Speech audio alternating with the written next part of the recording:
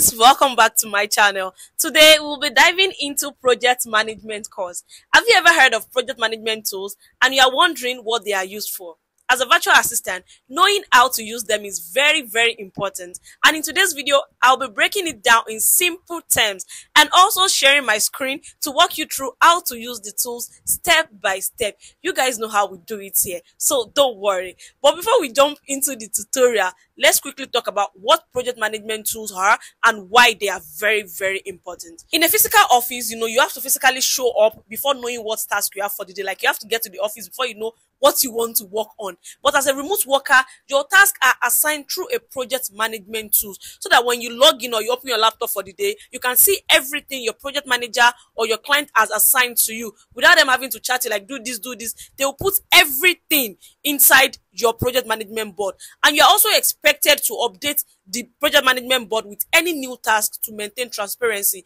which means if your client actually give you a task over WhatsApp or via calls, it is your duty to add it to your project management tools to ensure that everybody is like everybody is aware of what you're supposed to do at that particular day. You get what I'm saying? And why this is important is that imagine you've been working for like eight hours and your client asks you like what have you been working on? If you do not track all these tasks you will just be racking your brain like eh hey i've been working. But you won't remember everything. But if you actually put it in your project management board you will definitely remember like go there and check this out these are what i've been working on today. You get what i'm saying? Even if you are sick or you're out of the office it's very easy for another person in the office to see where you at and where you need help and they can support you while you are out of the office I hope I'm communicating. We have several amazing project management tools out there. We have Monday.com, Asana, ClickUp, is Trello. Like we have several project management tools, but today we will focus on Trello and I'll show you exactly how your client expects you to use it professionally as a virtual assistant. Because most virtual assistant believes that hey, I know how to use Trello, but do you know how you're expected to use it in a remote setting? Eh, oh. if this sounds like something you are interested in, don't forget to give this video a thumbs up, subscribe and turn on notification bell so you don't miss more valuable content. Without wasting much of our time, let's let's dive right into the tutorial. So search for Trello on your Google Chrome. You can also download Trello on your Google Play Store or App Store. So click on it, sign up, put all the necessary information. And once you are done signing up, you're going to see something like this. In Trello, we call it board. So for example, let's assume your company is actually using a Trello as the project management board. The first thing they will do is to actually give you access by coming to this share button. Look at my mouse and come to this share then they're going to input your email here and they're going to you know send you an invite. So you receive the link in your email. Once you click on it you're going to get access to this particular board.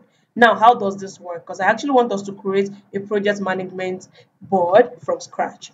So for example let's assume i hired miriam and john as my virtual assistant and i'm a project manager or i'm a client. The first thing i want to do is to come to this add a list and name it John's tasks. I'm going to click on add list. I'm going I'm going to come here and name it Miriam tasks. I'm going to click on add a list. Another one will have something called ready for review. I'm going to click on add a list. Another one will name it project completed. Then we'll click on add a list. Now, for the sake of this class, let's just maintain these two which means I created um, a, um, a list for John's task, another one for Miriam task. So if I want to assign task for John, all I have to do is just to come to this hard card under John's task and input any task that I want to assign for John. Let's say um, coordinate the next event. Coordinate the next event. I'm going to click on hard card. I can come here and say create a Google form for the new intake. I'm going to click on add a card. I'll come to Miriam task as well. I can name it, um, I can assign another task to let's say research the top logistics company in Chicago. I'm going to click on add a card. Another one, let's say, um, let's say finalize and maintain zero inbox today. Then I'm going to click on add card. So for the sake of this class, let me just add another one. Let's say schedule a meeting for the team. Now, as a newbie, you get to the office and you see this task under your name. Let's assume you are John and you see this task. Just looking at this, schedule a meeting for the team. You might be wondering, schedule a meeting for the team. Okay, when should I schedule this meeting? How should I schedule it? You need more information than just someone giving you a task and name it schedule a meeting for the team. Here on Trello, all you have to do is just double click on the task and this interface will actually pop up. I just want you to follow what I am doing. And in the and once this shows, we have this description. That is where they are actually going to input all the details regarding the task. So now we want to schedule a meeting. I can say schedule meeting for Friday, March 28th from 3 p.m. to 4 p.m. Invite Miriam, Ellen, um, let's say um, Rita, and um, Joy. The purpose of the meeting is to discuss our annual events. Depends on what the meeting is all about. Basically, this is where they will input all the information that you need to complete that particular task. You get what I'm saying? So we have this bold, we have this italic, we have this um, list, whatever. You can also um, attach link here. There's also option for you to add image, several things here. You get what I'm saying? So don't get confused. The description is just where they put all the details that you need to ensure that this is done correctly. So let's click on save. Now, the next thing we want to do is to come to these members. Remember, you've been added as a member to this particular board. So who are we assigning this task to? We are assigning this task to John. So I'm going to click on member and we're going to add John. But because I've not added anybody, I'm just the only person here. I'm just going to select myself. So if John is here, I'll just select John as the card member. Another one is what we call labels. You see, these labels is where your client will tell you how urgent a particular task is. So I'm going to be using this color, for example. So this is red. I'm going to click on this pencil icon and name this red urgent. I'm going to click on save. Then I'm going to come to this orange. I can name it high. I'll click on save. I can come here, let's use this one, name it medium. I'll click on save. And I can name this one as low. And I'll click on what? Save. Let's just delete this other two. Let's just delete it. Uh, we can delete this by just coming here, click on delete, delete from cards, come back here, click on the pencil icon, click on delete, delete. So now all our tasks can either be urgent, high, medium, and low. So for the sake of this class, I'm going to assign this label to be high for John. I'm going to get there, so don't worry about this one. So when we get to the checklist, there's something we call checklist. Checklist is actually, um, am going to be like, we can see it as a subtask under a particular task. And it's going to make sense. Just click on add. The moment you click on add, this checklist will actually come up. So I can say schedule the meeting. That's the first task under this one. Another one is inform the team about the meeting. I'll click on had. Another one I can say, um, I can say type out, or can I say create the memo for the meeting. I'm not sure if I'm making sense, but for the sake of this class, let's just do something like that. What does this checklist mean?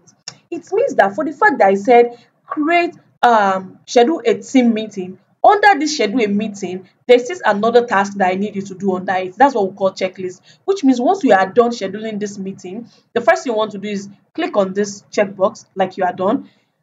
Another one, once you are done scheduling the meeting, inform the team about the meeting, like send it to their communication channel, like, hey, I've scheduled a meeting for next week. Ensure you accept the invite. Once you are done informing them, you click on check this. That means you've completed this one.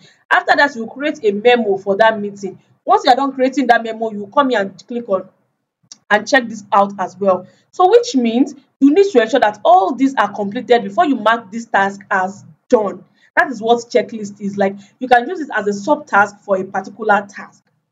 Let me know if I'm making sense.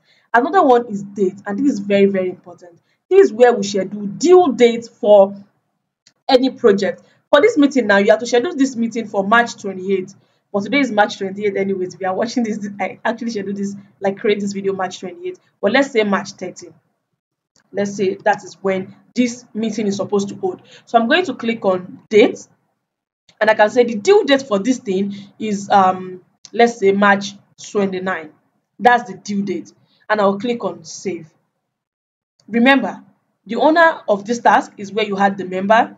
Labels has to do with the priority. Is this task urgent? Is it high? Is it medium? Is it low? If you see any task labeled urgent, it means that's the first thing you should work on.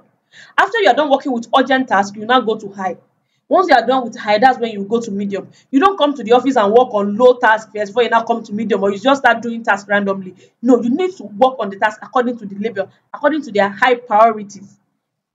You get so don't get confused. Another one is the checklist that I said you need to add like a subtask to it. Then the next one is the due date. Due date. So which means on or before 29, you must have completed this task. You must have scheduled this meeting. You must have informed the team members. You must have created this memo on or before what? March 29. You don't just say, eh, since it is March 29 now, eh, I can actually work on this on March 29. No, it means you must have completed this task on or before March 29. Then I'll click on what? I'll click on save. Another one is attachment. That is if you want to add any, uh, what's it called? Any document here, just click on attachment and use it. Then once we are done, we'll just click on save. Then let's close it. Now let's come back to this. Can you see when I click on this, it's saying high, which means this task is very, very high. And the due date is March 29. If I want to assign due date for this one too, I can just right click here, click on edit date. I can have the due date as March 31st. I'll click on save or edit the label and give it urgent. Then I'll close it. Then everything is here. This yellow button is saying that this thing is like the due date is very, very soon. So you must complete this task. So this is urgent, which means when you come to the office, the urgent won't even come first before this schedule a meeting. So you have to work on this urgent before you work on this schedule meeting. But the most important part is that ensure that you complete this task on or before the due date.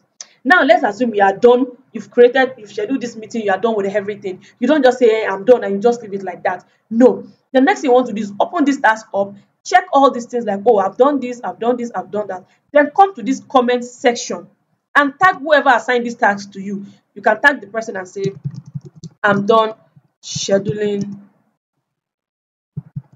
this meeting. Whatever you are, wherever you are, whatever you are doing, just put it there like I'm done, blah blah blah, and click on save. Or let's assume you are working on something. For instance, now let's say you are done with um, scheduling the meeting and you need to continue this task tomorrow. You can just come here to the description and say pending items. I believe this checklist even works. Like since you already checked this already, then and you are yet to uncheck this one, then you may actually not need all this. But if you just want to do, do the normal, you can just say pending item. I need to do what inform the team and create a memo. Why are we doing all these things? So that when anybody comes to our task, the person will see where we at and all the pending items. But this checklist actually do everything. Like you've scheduled the meeting, you've checked it. Anybody that comes here and see that you are not, you've not unchecked this one, it's like if you've not checked this one, it means you are still working on them. Do you get? Now, when you are done and you've actually um left a comment here for the person, all you have to do is to actually drag this task and move it to project completed.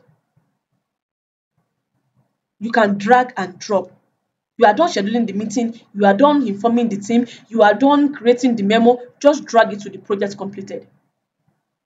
And if it is a task that your client needs to review or your project manager needs to review, you just need to drag it, drag it to ready for review. They will tell you once they are done, let us know if it is ready for review. So just drag it to ready for review. And you can actually come to the comment section, like I said earlier, and tag the person and say, oh, this is ready for review. Which means once you are done or your project manager or whoever assigned this task to you is ready, they'll just go back to this ready for review. They'll view whatever you said you've done, if you've done it right. If not, they will actually leave a comment for you here as well and they will drag it back to your task. So which means once you come in and you see that the task that you dragged to ready for review is back to your task, it means you need to do one or two things on the task. But if it is completed, the person will just help you to drag it to project completed.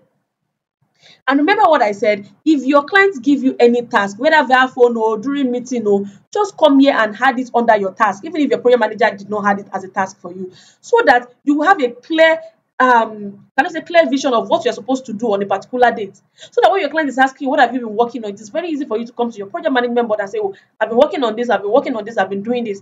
And when you are sick, it is even very easier for people to just come in and say, Oh, you know what, this is what John needs to work on, let me help him. And they will also see where you had on that particular task and they can know where to, you know, where to continue on that particular task. I hope this is clear.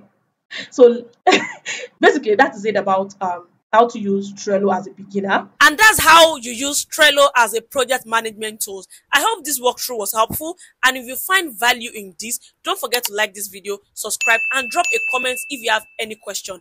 And if you are new here, my name is Omowunmi. I am a virtual assistant and a virtual assistant coach. I help people like you learn the skills they need to land remote job. So if you want to go deeper into learning how to become a virtual assistant or how to optimize your Upwork profile, your LinkedIn profile, how to build your CVs, I actually want you to check the description box for my services. I offer several amazing services. Just click on it and it will take you to my storefront and you can do what enroll for anyone that works for you. Thank you so much for watching and I'll see you in my next video. You're welcome.